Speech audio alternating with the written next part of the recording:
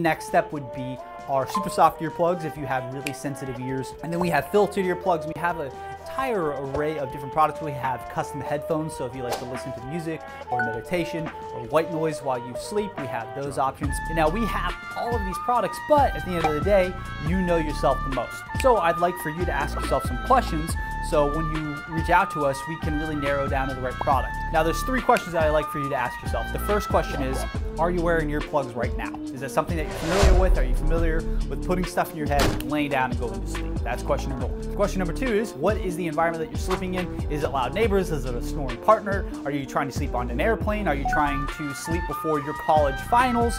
What is it that you are trying to do? What is the noise that you're trying to reduce and the environment that you're sleeping in?